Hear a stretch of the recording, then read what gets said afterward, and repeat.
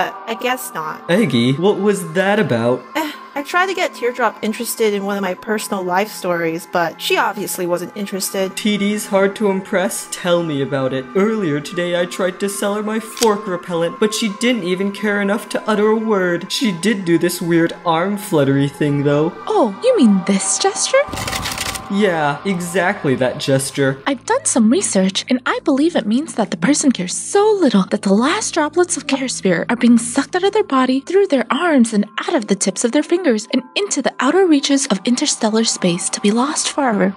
A true indicator that person doesn't give a fluff